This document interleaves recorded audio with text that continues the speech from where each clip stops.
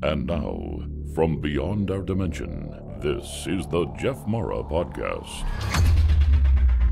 Here's Jeff. My guest is Mona Caple, who during her near death experience encountered her deceased brother on the other side.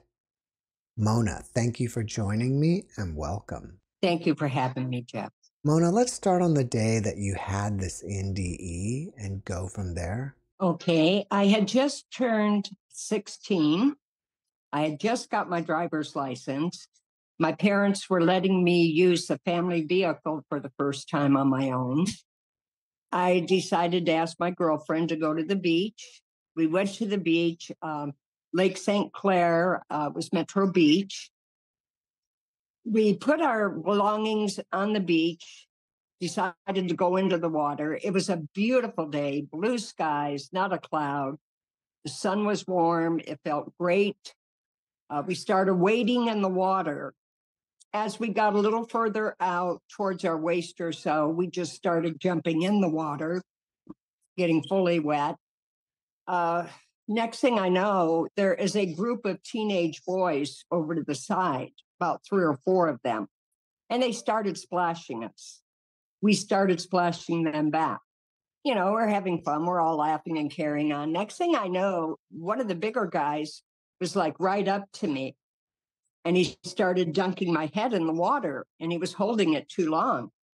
So, about the, I don't know, second or third time he did that, I went to gasp for air, but apparently my lungs filled with water. I remember hearing the bubbles. I could see them, thousands of bubbles. Next thing I know, I'm in a brown cave. Okay, and very dim light around it. I felt a presence next to me. I looked to my side, and it was a taller figure in a brown robe. It was real flowy, long arms, full sleeves, hood. I went to look at the face. There was no face. I could see right through it. It was like he was transparent. I could see the other side of the cave. He all of a sudden lifted his arm up, and I followed his arm, and it was to a huge group of people. Most of them I remember at the time recognizing. There's only a few I remember now, and that was an aunt, an uncle, and a school friend. Next thing I know, and they were all clapping and smiling and like cheering me on. And next thing I know, he raised his arm again. And that took me to my life review. And that was black and white photos. That's the only way I can explain it, just like on a reel going, you know, and past me my whole life. Everybody I knew, things I had done. Uh, I was enjoying it. I was very comfortable. I wasn't afraid. Next thing I know, he raised his arm again, this time straight up. I looked up and it was like a tunnel going up and a very bright light at the end. I started floating up towards it.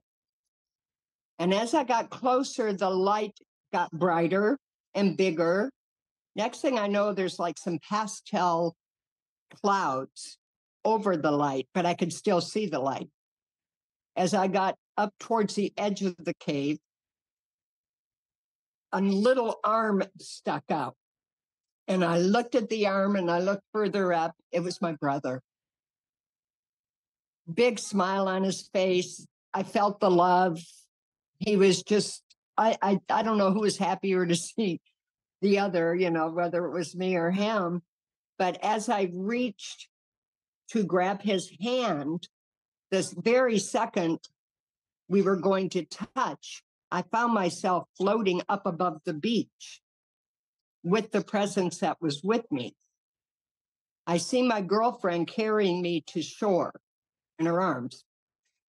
I seen a crowd gathering. I seen the lifeguards, several lifeguards running towards her. Next thing I know, I'm spitting up water laying on the beach. I couldn't talk. I just kept spitting up water. They were throwing questions at me. All I could do was shake my head, yes or no. I could get nothing out verbally.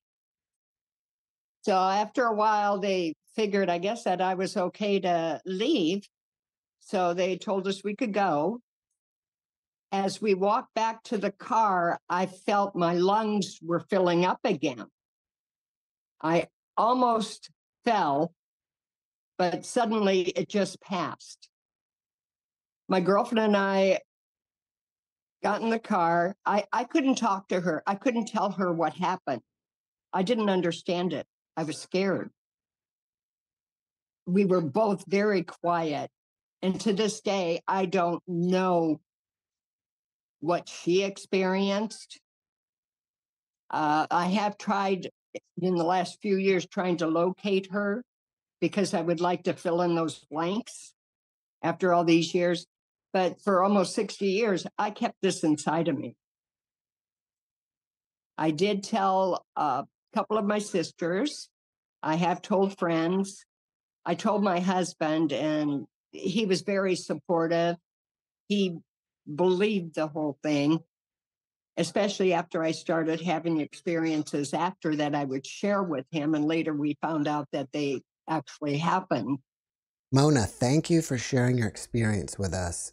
Do you think that being that kept raising his arm was like the Grim Reaper or something? No, not at all. I felt nothing but peace, love with it. Um, actually, at the time, I thought it might have been God. But I look at it now as it could have been my guide, you know, guiding me through this experience. All but right. I never had any fear. There was never any verbal communication. And it wasn't, I can't say it was telepathic. It was just, I knew. It's just, I knew everything he was trying to show me. Do you know whether you were dead or they had to resuscitate you at all once they brought you out of the water? I have no idea, Jeff. And that's something that has haunted me. I, mean, just, for so long, I kept it inside. I was afraid to talk about it. I couldn't understand it myself. Since your experience, have you noticed that you had any new abilities that could be considered psychic? Absolutely. Like what? Okay, uh, I'll start out with dreams. My husband and I, every summer, would drive from California to Michigan. We had several stops with relatives, uh, friends along the way. Our first stop would be in the Dallas area. We had been on the road for over 20 hours. Other than potty and food breaks, that was about it. So we got into my uh, brother's sister's house. We visited a while, went to bed, got up the next morning, had breakfast. All of a sudden, I felt this extreme tiredness. So I says, I'm going to go lay down for a bit. I laid down. I got up from a disturbing dream. I went and told my husband right away. I says, I dreamt that Carol called and said that her brother had drowned in a gravel pit there in Southern California. Mind you, this is back in the early 70s. We didn't have cell phones. I didn't call my friends when I was out of town. You know, two and a half weeks later, we get back to California. We're unloading the vehicle. My phone rings. I answered it. It's my friend Carol telling me that her brother had drowned in a gravel pit. Wow. I had another incident like that. My husband and I worked together. There was another couple at work. The four of us went on a cruise together. Uh, I believe it was the Caribbean cruise. We were at sea all day and we were sitting in a bar playing pinochle, drinking pina coladas. I got extremely tired. I says, you know, guys, I got to go lay down for a bit. I went to the room, took a nap, again had a weird dream. And I told them all about it when I got back to them. I had dreamt that the uh, I was a purchasing agent, and the young lady who did my paperwork for me, I dreamt that they had fired her while I was gone. And That's weird, you know. And I shared it with them. Uh, get back to work a week later, my boss calls me into her office. We chatted a little bit about the trip. She goes, I have to let you know, and I'm so sorry. She goes, but we had to let Valerie go. There's no way I would have known this.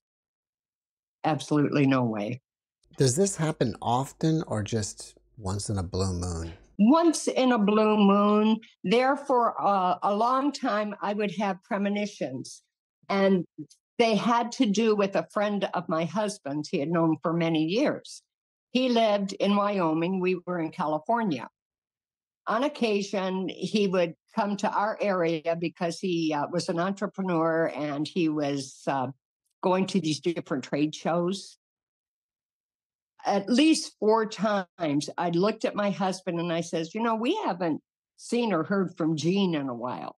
Well, usually within a few hours, he'd show up at our door. And my husband, the last time it happened, he goes, "Have you been talking to Gene?" You know, and nope, nope. It, it was just so bizarre because it it happened with him. Uh, there there were a lot of other incidents of things. Uh, let's see. Now that I'm trying to think of them, it, it's hard. Um, Well, how else did your life change after your experience? well, I became kind of withdrawn because it, uh, this thing just stayed with me for the longest time. I I couldn't understand it. I didn't know who to talk to. You know, it was before we had the internet like we have now. I couldn't go on and research it. So I just withdrew into myself for a very long time. And then after a while, after I started reading more about it, I was able to come out of that. Um,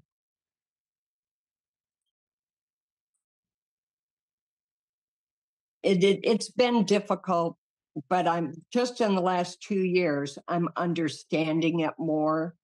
And I know now I'm not the only one that's ever experienced something like this.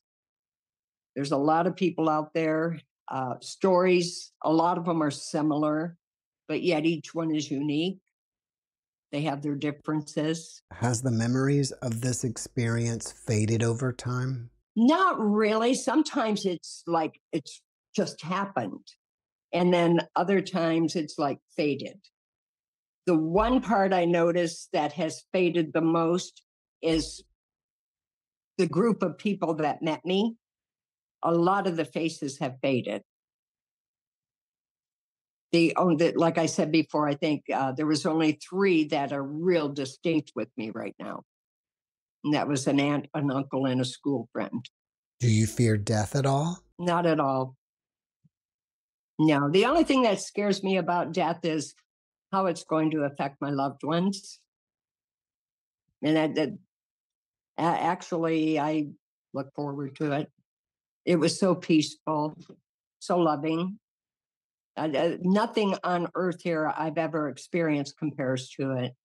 If you had a friend that was suffering over the loss of a loved one, what kind of advice would you give? Oh, I've been through this a couple times. Uh, in fact, my dear sister just lost her fiance. They've been together for over 20 years. I spent about three months most of the time at her house helping him and her. Uh, he was on hospice and she has uh, chronic Lyme's disease. So she has been limited to what she could do, especially physically. So I spent most of my time over there assisting them. And I I actually sat and spoke with him one day about my experience. Uh, I uh, continually tell my sister, and she believes me, she knows the story. And I just let her know you will see him again. And it will be better than ever. you know, the love will be stronger, you'll be happier, you'll be pain free, worry free. Since your experience, have you had any other out of body experiences? I have, I mean, I feel that it was definitely out of body. Um, it was in California. My husband was still alive. We were sleeping. I remember being awakened, and it was from an old friend. Next thing I know, I'm floating at my bedroom door with this friend, watching my husband sleep. And then I know I could see where my body had been in the bed. And he just kept looking at me and smiling. But next thing I know, I was laying in bed with my eyes wide open. I, I don't know what the purpose of that was. Hmm. Uh, unless it was maybe some vivid dream. But to me, it was just too real. I've had vivid dreams before, but not like this. Um, I've had visions, and I don't like to talk, you know, the specifics of them because they're things that have not happened, and I'm afraid they might happen. Uh, like one day, I was sitting in my living room here watching TV. I got up to go get something out of the kitchen. And as I raised up, I looked over to the side at a sofa and there was a young boy sitting there. I didn't know him. And I can remember exactly what he was wearing. But then the next thing I know, I seen myself driving a vehicle and this young boy walked out in front of me and I hit him. I wasn't going very fast, and I, I can. It was just so bizarre. And my daughter was in the kitchen at the time, and I told her, go, Ronnie, I just seen this happen. You know, from the time I got up from the chair to go into the kitchen. At the time, I didn't recognize the young man, but I do now. And it scares me. How are you inspired by your NDE? Well, now that I understand it more, I try not to take things too seriously. Uh, minor things, you know, like the housework, yard work, you know, stuff like that. I I'm much more relaxed. Uh, I try to be more loving, more caring. Try not to complain so much. Uh, just try to keep myself at peace. Did your religious or spiritual views change after your experience? Uh, I would have to say at first it was stronger because I actually thought that presence that was with me was God. And he was showing me all this. But now I'm not so sure. I don't think it was God.